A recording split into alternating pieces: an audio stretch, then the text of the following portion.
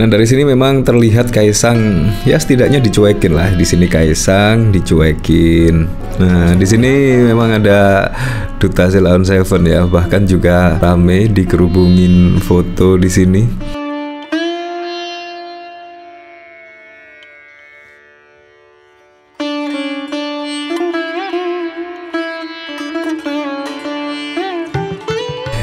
Di sini ada berita yang cukup mengejutkan ya, yaitu Kaisang di sini dicuekin warga pada saat sholat Idul Adha. Apakah beneran yaitu Kaisang dicuekin warga? Akhirnya saya pun googling-googling lagi, apakah beneran ada pemberitaan yang berbeda yaitu terkait Kaisang di sini cuekin. Nah, di sini ternyata juga ada dari suara.com, yaitu beda reaksi warga ketemu Kaisang dan duta saat sholat Idul Adha dikerubungi versus dianggurin. Wah, di sini ada tanda tanya.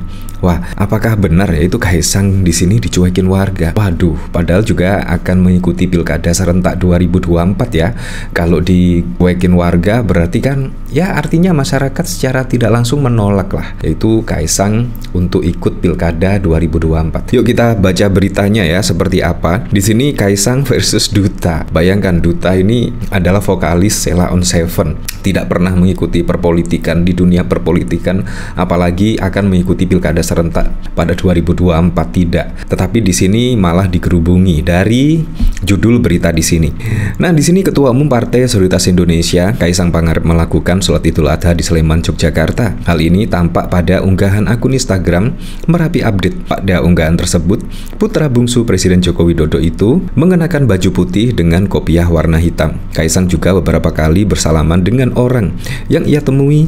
Kendati demikian, tak tampak Kaisang dimintai foto bersama oleh warga sekitar. Pesona Mas Kaisang Pangarep, salat di lapangan, Kentungan Sleman, tulis akun Merapi Update. Kaisang yang terlihat jalan dengan leluasa sontak langsung dibandingkan dengan Duta Sela on Seven. Meski sama-sama sholat Idul Adha di Sleman, Duta auto dikerubungi warga untuk bersalaman. Pada video yang juga diunggah akun Instagram Merapi Update, terlihat Duta mengenakan pakaian muslim warna coklat. Vokalis senior itu dikerubungi berbagai kalangan usai sholat Idul Adha. Pesona Pak Duta di lapangan Ganjuran Condong Catur Sleman setelah sholat Idul Adha tulis akun Merapi Update.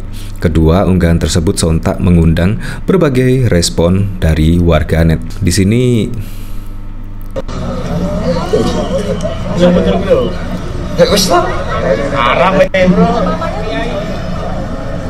Nah, di sini Kaisang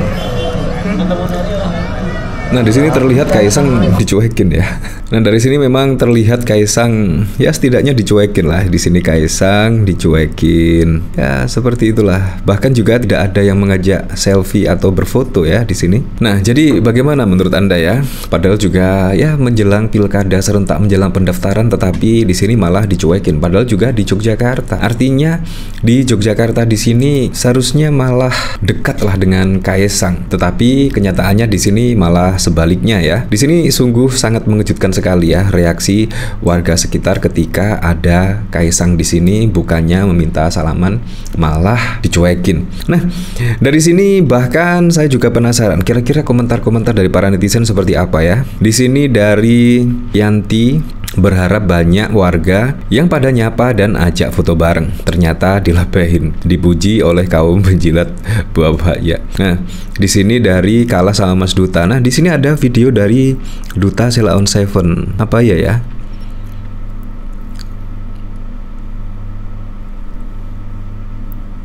Nah, di sini memang ada duta Selaun Seven ya, bahkan juga rame dikerubungin foto di sini. Nah, di sini eh tapi Mas Duta sampai nujuk sampai nyalek ya. Aku nggak mau jadi benci Selaun Seven cuma perkara sampai terjun ke politik. Ojo Mas tetaplah jadi bapak-bapak Sleman pada umumnya. Di sini dari inisial syukurin orang Jogja itu smart-smart, nggak mau jadi penjilat kecuali yang jadi kader partai. Di sini dari Dito, ah sayang nggak ketemu kalau aja ketemu langsung Ogut seret untuk dijadikan kurban. Di sini dari Xavier, bocah ingusan cuma ngandalin sebagai anak presiden. Memang dia siapa? Ya ada mules. Kota waras bukan kota bansos. Jogja duwe sultan asli, ra butuh sing abal-abal. Wong Jogja lebih butuh Kang Ojek daripada Kaisang. Kaisang Pangarep minta ya seperti itu. Jadi memang sangat mengejutkan sekali ya di sini Kaisang dicuekin warga. Nah, tapi kalau kita lihat perbandingan antara video Kaisang dan video Duta Sela on Seven, di situ memang sangat berbanding terbalik ya. Padahal juga Duta tidak ikut konsultasi pilkada serentak pada 2024. Tetapi sambutan dari warga di situ sangat antusias dan bahkan juga banyak warga yang mengajak duta tersebut untuk berfoto bersama atau foto selfie. Nah, tetapi di sini ketika Kaisang pada waktu lalu salat Id di situ ya bahkan terkesan dicuekin lah bahkan warga-warga tersebut ya langsung meninggalkan lapangan begitu saja walaupun di situ ada Kaisang yaitu dari putra bungsu Presiden Joko Widodo. Nah, apakah itu juga terkait ya pada Pilpres yang lalu yaitu manuver-manuver sangat mengejutkan sekali dan bahkan bukan hanya manuver saja yang dilakukan oleh Presiden Joko Widodo melainkan juga ada putusan yang sangat kontroversi sekali yaitu soal putusan Mahkamah Konstitusi yang setidaknya akhirnya memberikan karpet merah kepada Gibran Rakabuming Raka walaupun belum cukup usia untuk mendaftar sebagai cawapres dari Pak Prabowo Subianto. Bayangkan di situ minimal usianya untuk menjadi cawapres 40 tahun tetapi Gibran pada waktu lalu masih berusia di 36 tahun. Bayangkan selisihnya sangat banyak sekali. Dan masih belum reda kekecewaan dari warga, eh tiba-tiba ada putusan MA. Di mana putusan MA di situ setidaknya ya memberikan karpet merah lah kepada Kaisang karena usia minimal 30 tahun di situ yaitu setelah dilantik menjadi kepala daerah. Nah, di sini juga ada pertanyaan yang serius ya. Apakah kira-kira Kaisang benar-benar akan dilantik menjadi kepala daerah. Entah besok di situ akan mengikuti Pilkada DKI Jakarta, Pilkada Jawa Barat, Pilkada Jawa Tengah apakah benar-benar akan menjadi kepala daerah karena gugatan pada waktu lalu setidaknya mengabulkan yaitu usia minimum kepala daerah 30 tahun pada saat pelantikan. Nah, di sini juga sangat mengejutkan sekali ya.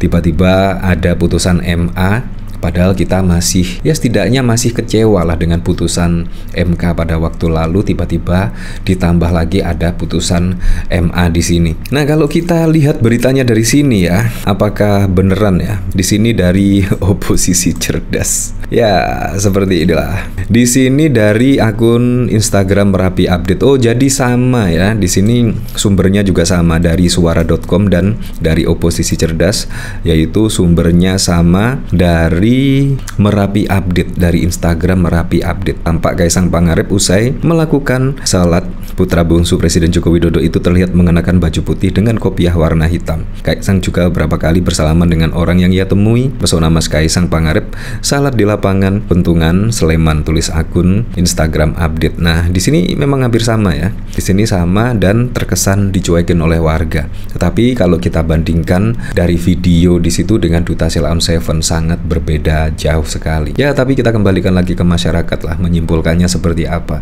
Tetapi yang jelas semoga saja besok pada saat pilkada serentak tidaknya berjalan dengan aman, berjalan dengan nyaman dan yang paling penting berjalan dengan transparan, jujur dan juga adil.